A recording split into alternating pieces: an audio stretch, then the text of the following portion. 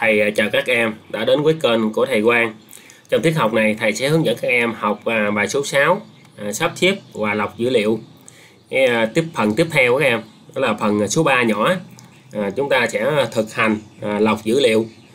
Và phần số 3 nhỏ này là trang số 30 sách giáo khoa tinh học lớp 8 kết nối tri thức với cuộc sống ha.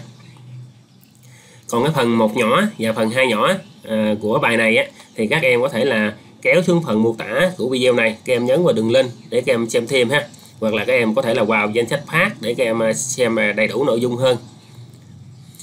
À, à, trong phần ba nhỏ này thì à, các em thấy là à, cái chức năng lọc dữ liệu của phần mềm bản tính á, thì à, được sử dụng à, để chọn và chỉ hiển thị các cái dòng thỏa mãn điều kiện nào đó thôi.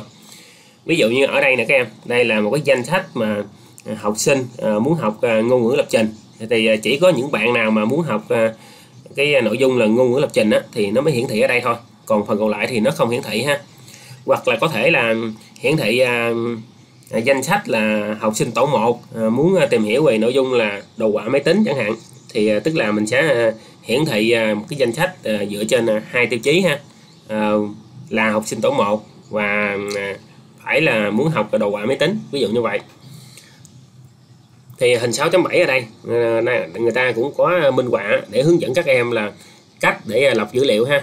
Thì ờ, chút xíu nữa thì vô cái phần thực hành trên máy thì thầy sẽ hướng dẫn các em chi tiết hơn nha. Rồi thì ở đây đầu tiên thì các em phải thực hiện cái nhiệm vụ một đó là lọc theo một tiêu chí. Thì ở đây có thể là lọc theo một tiêu chí hoặc là lọc theo nhiều tiêu chí nha các em. Thì lọc theo một tiêu chí đó là yêu cầu là gì? Là các em lọc danh sách học sinh theo từng nội dung à, tin học mà học sinh lựa chọn. Ờ, sử dụng bộ lọc nhiều ờ, tùy chọn ha. À, tiếp theo thầy sẽ hướng dẫn các em à, cách thực hiện nha. Sau khi hướng dẫn các em cách thực hiện xong rồi thầy sẽ ờ, thực hiện trên máy luôn để cho các em tiện theo dõi ha. Thì ở đây hướng dẫn thực hiện thế này. À, đầu tiên là các em bước một là các em phải chọn cái dùng dữ liệu cần lọc nha.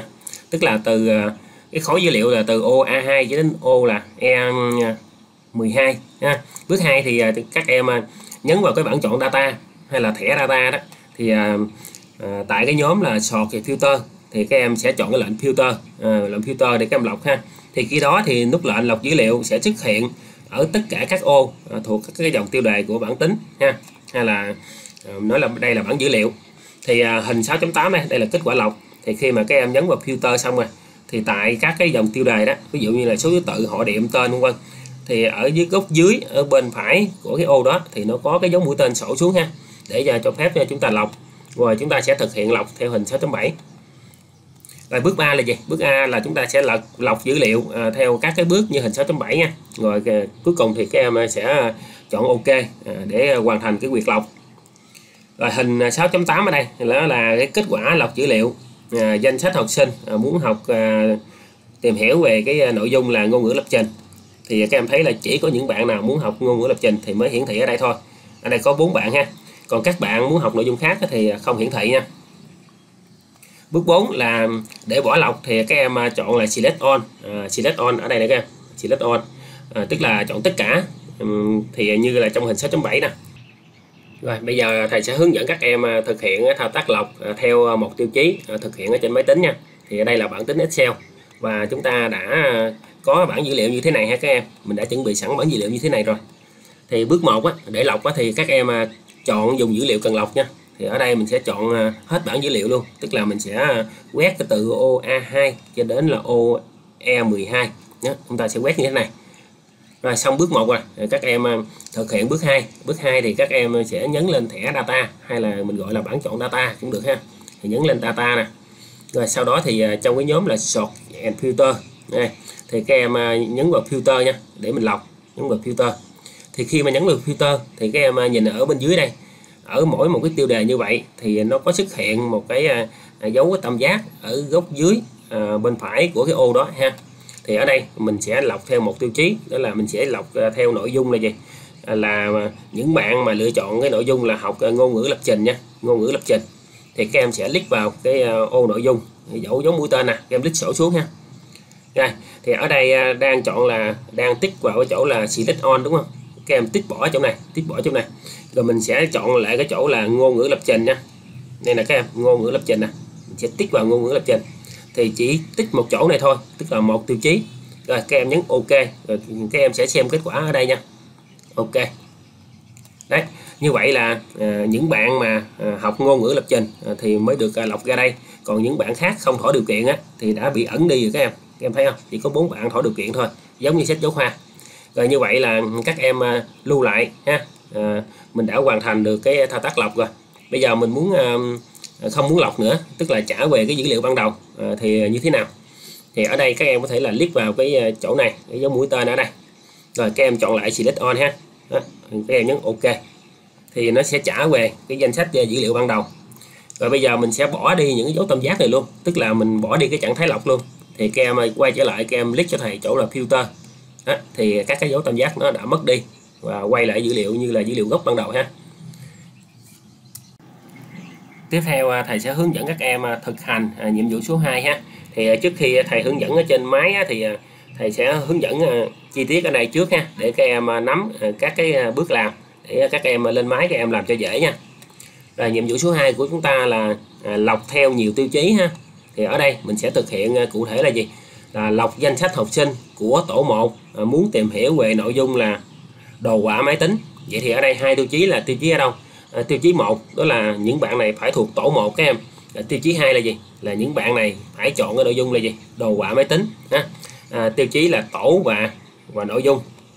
Rồi hướng dẫn ở đây. Ở đây có hướng dẫn nè. Bước 1 là chúng ta sẽ thực hiện à, à bước 1 và bước 2 như ở nhiệm vụ 1 à, tức là chúng ta thực hiện cái việc là à, lọc à, dữ liệu đó như nhiệm vụ một. Rồi trong bước 2 thì à, trong cột nội dung thì chúng ta sẽ chọn à, cái tiêu chí lọc là đồ họa máy tính ha. Còn à, bước 3 thì à, chúng ta sẽ thực hiện với tiêu chí 2 tức là tổ. Là chọn à, tiêu chí lọc là tổ 1 ha. Rồi bước à, bước 4 thì à, để bỏ lọc để bỏ cái lọc dữ liệu đó thì chúng ta sẽ thực hiện tương tự như bước 4 ở nhiệm vụ 1 à, đối với à, các cột nội dung và cột tổ nha. Tức là chúng ta làm ngược lại rồi bây giờ thầy sẽ hướng dẫn các em à, thực hiện trên máy ha. Rồi bây giờ thầy sẽ à, hướng dẫn các em à, thực hành trên máy tính ha. À, chúng ta thực hành lọc dữ liệu theo nhiều tiêu chí. Thì ở đây thầy có chuẩn bị bảng dữ liệu như thế này. Ngày đầu tiên thì các em chọn dùng dữ liệu cần lọc nha. Tức là các em sẽ chọn từ ô A2 cho đến ô E12 các em quét cái dùng dữ liệu như thế này. Được chưa? À, tiếp theo thì các em sẽ quay lên à, thẻ data à, thẻ data ở trên đây. Các em click vào. Rồi sau đó thì các em di chuyển ờ, sang đây. À, sang cái nhóm là sort and filter. Thì các em chọn vào filter nha. Đây là các em nút lệnh filter đây để mình lọc nha. Thì các em khi mà các em nhấn vào nút lệnh filter nè thì ở bên dưới đây tiêu đề các cột nó có cái dấu tam giác không? Mỗi cột đều có dấu tam giác. Thì ở đây mình sẽ lọc theo hai tiêu chí. À, thứ nhất là mình sẽ lọc theo nội dung ha, lọc nội dung. Thì lúc này mình sẽ sổ nội dung xuống nha ở chỗ vị trí là select on nè select on ờ, các em tiết bỏ ha. Ờ, à, tích bỏ thế này. Và mình sẽ chọn cái tiêu chí là gì? Là đồ họa máy tính nha. Các em tích vào chỗ đồ họa máy tính. Rồi các em nhấn ok. Đây đồ họa máy tính nè. Có hai bạn là chọn đồ họa máy tính đúng không? Rồi mình sẽ thực hiện à, lọc theo tiêu chí thứ hai. Đó là tiêu chí tổ các em. Thì mình sẽ click vào tổ. Rồi các em cũng click vào select on nha. Rồi bây giờ mình sẽ lọc những bạn tổ 1 thì mình sẽ tích vào số 1 ha. Chỗ số 1 nè xong rồi các em nhấn ok.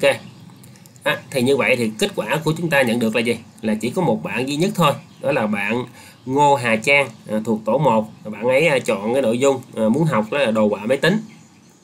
Rồi như vậy là chúng ta đã lọc xong rồi đó các em. Thì à, các em có thể là nhấn vào nút sale ở góc trên à, bên trái ha để các em lưu lại. Rồi như vậy là mình đã lưu lại cái nội dung lọc rồi. Rồi bây giờ mình muốn quỷ lọc tức mà mình muốn bỏ lọc đi thì các em làm ngược lại các em sẽ à, tích vào à, chỗ này các em chọn select on rồi các em nhấn ok. Tiếp tục khi các em tích vào chỗ tổ các em chọn select on rồi các em nhấn ok. Thì các em thấy là dữ liệu nó trả về à, đầy đủ như là ban đầu ha.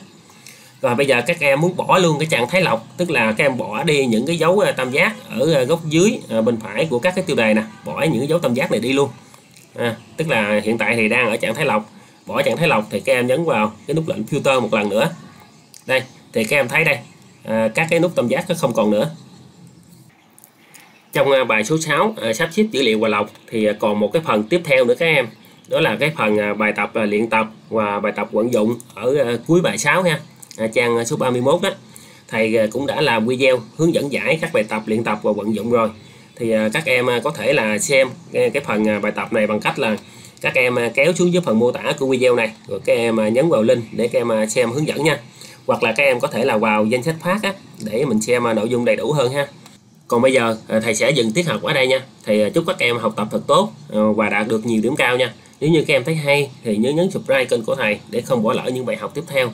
Bye bye và hẹn gặp lại các em trong những tiết học sau.